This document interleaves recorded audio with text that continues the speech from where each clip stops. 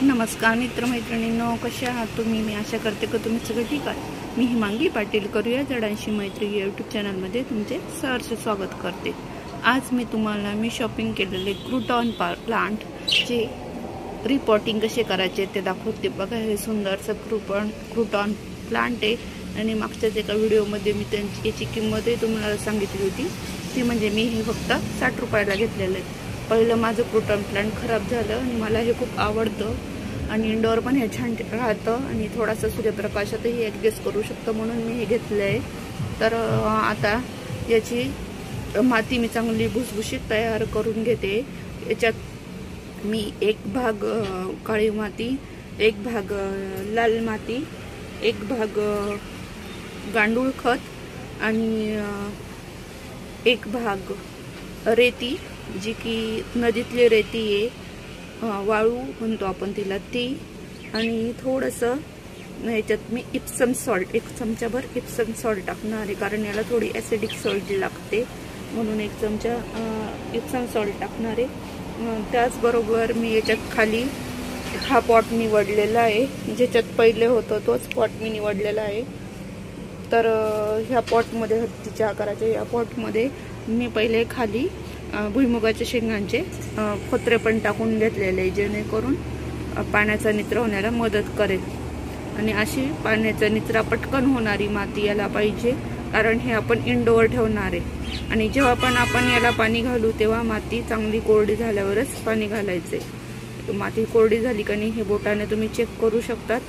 वाटलं तर थोडं खुरपूही शकतात आणि मगच याला पाणी घालायचं आहे चला तर मग मी पुढे कसं काय काय करते ते तुम्हाला दाखवते.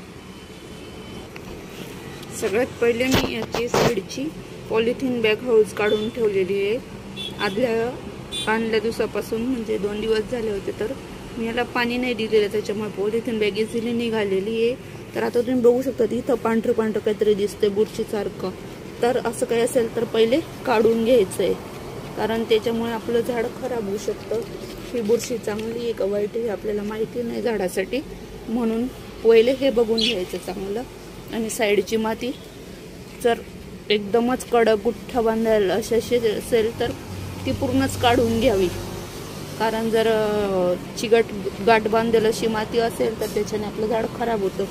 हे बघा मी एक तुम्हाला दाखवते की म्हणजे एका हे बघा हे एका ॲरिका पामचं झाड माझं जे खराब झालं होतं त्याच्यात अशी माती होती. आणि ही माती मी तेव्हा जास्त साईडने फोडून न काढता तसंच रिपोर्ट केलं होतं. तर त्याच्यामुळे काय झालं तर झाड मरूनच गेलं. ही माती इतकी चिकट आहे की अजूनही इतका पॅक लाडू बांधला गेलेला आहे इतकं घट्ट झालेलं आहे की अजूनही फुटत नाही आहे मग आता ही कोणत्या झाडाला वापरण्याला योग्यच नाही आहे त्याच्यामुळे मग मी ही अशीच अशी राहू देते. मुळा तर खूप वाढल्या होत्या पण माती खूप पाणी धरून ठेवते आणि काही त्याला न्यूट्रिएंट्सही घेत नसेल शोषत नसेल. त्याच्यामुळे ते झाड खराब झालं तर असं होऊ नये म्हणून आपण पहिले माती भुसभुशीत आहे का नाही ते चेक करायचं. नर्सरीवाले कधी कधी अशी माती वापरतात की जी आपण परत वापरू नाही शकत म्हणून पहिले हे चेक करायचं. आता ही माती बघा निघते सहजासहजी साईडने भुसभुशीतच वाटते मला. लगेच पडते पण आहे त्याच्यामुळे. जास्त काही काढायची गरज नाही पडणार. तरी मी थोडी थोडी काढून घेते. माती काढता काढता सोबत हे जे गवत सारखं अनावश्यक उगलेलं आहे तेही मी काल परवा ज्या दिवशी आणलं होतं त्या दिवशी बरंच काढलं आणि आता थोडं राहिलेलंही. जरा ओढून ओढून काढावं लागतंय. कारण हे सुद्धा आपल्या झाडांचे पोषक तत्व शोषून घेऊ शकता. म्हणून हे काढून घ्यायचं. असं फिरून फिरून सगळीकडनं हे गवतासारखंच्या मुळा काढून घ्यायच्या.